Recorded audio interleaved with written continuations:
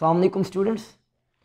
Today we are going to draw the Lewis structure of N2O3, a dinitrogen trioxide. So first of all we can write a formula which is N2O3 then we can determine number of valence electron because nitrogen belongs to fifth group so have a 5 valence electron so multiplied by 2 10 valence electron plus oxygen belong to a 6 group have a 6 valence electron so total 18 electron. So here we have total 28 electron and we have to distribute these 28 electrons among uh, 5 atoms 2 nitrogen and 3 oxygen. So first of all i am going to write its structure which is it's nitrogen oxygen nitrogen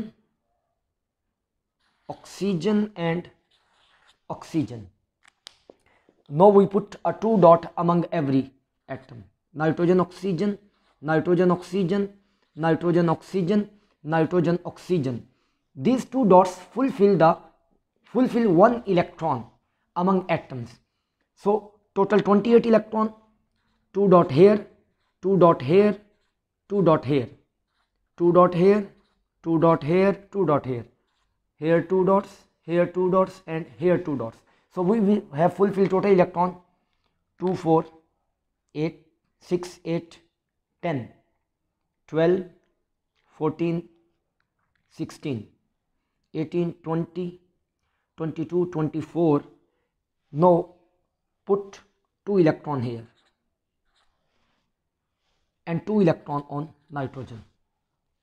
And if I am going to transfer this pair of electron here between nitrogen and oxygen and this pair of electron here between nitrogen and oxygen.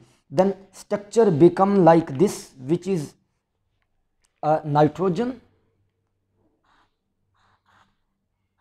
oxygen nitrogen double bond oxygen and double bond oxygen and nitrogen have a lone pair of electron and oxygen have a two lone pair of electron. And in similar case students can determine a formal charge Fc which is valence electron minus bond plus dot. By using this students you are able to determine the formal charge on every atom. Okay students this is the Lewis structure of dinitrogen trioxide